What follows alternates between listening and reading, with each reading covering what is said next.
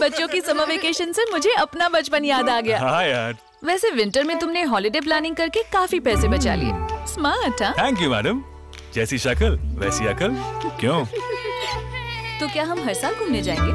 बिल्कुल। बच्चे तो बड़े हो जाएँगे। चल छोटी। अरे। अरे संभाल के।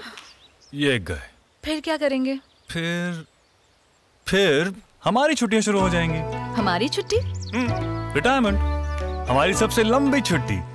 और फिर हम समर में भी घूमने जाएँगे और विंटर में भी। साल में दो बार? हम्म। क्यों?